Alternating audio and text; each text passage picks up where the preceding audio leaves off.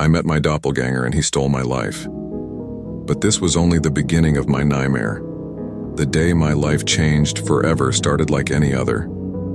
It was just a normal Tuesday, and when I got up that morning, I had no idea what lay ahead. My day in the office was equally uninteresting, consisting of hours of number crunching, support calls, frustrating meetings with middle management, and catching up with the gossip during my lunch break. However, on my way home, two significant incidents occurred. First, I encountered a homeless man seeking spare change. Despite my small act of charity, I realized its insignificance.